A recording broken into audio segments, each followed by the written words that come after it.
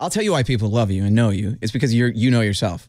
I think I think it's pretty clear who your identity is, and that's the most important thing. And the same thing's true for you, Brantley. It's like you guys are very understandably who you are. You know, I think there's something such so special about the country music community and the fact that we can, you know, come together and have duets on songs and have these these special moments for fans is I think what makes our country music family so unique and so special. Are you nervous about playing this live? Because Brantley, you mentioned that you had never done a, a, a duet before. What about live? Will you bring Lindsay Ell on stage? Do it at the live show? Is, is that harder?